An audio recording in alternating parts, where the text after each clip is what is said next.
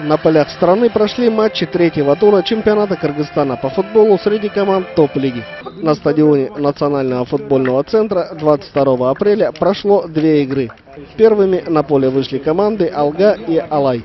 Счет в игре был открыт на 19-й минуте. Муралимжан Ахмедов ворвался по центру в штрафную площадку хозяев.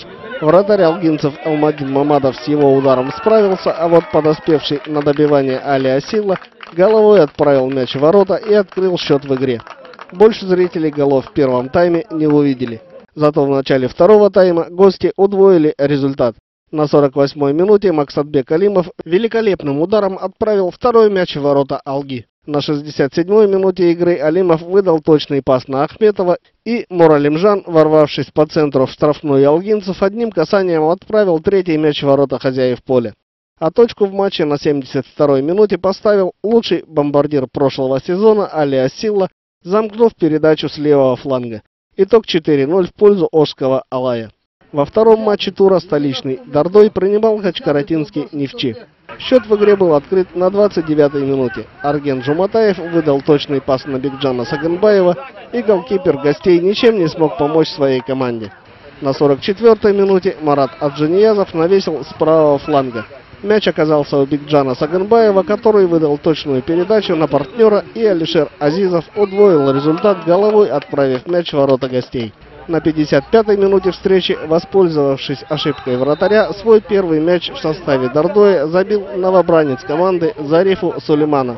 На 55-й минуте игры вновь голевой передачей отметился Бигджан Саганбаев. Подхватив отскочивший мяч, Бигджан вывел на ударную позицию Мирбека Ахматалиева и тот не промахнулся. А точку в матче на 79-й минуте поставил Карим Израилов, нанеся точный удар из-за пределов штрафной площадки гостей.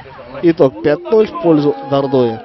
23 апреля состоялся еще один матч третьего тура. Канская Абдышата принимала Карабалту. Счет в матче был открыт на 13-й минуте. Атай Джумашев, блеснув индивидуальным мастерством, убежал от защитников и выдал точную передачу на партнера, который пробил поворотом.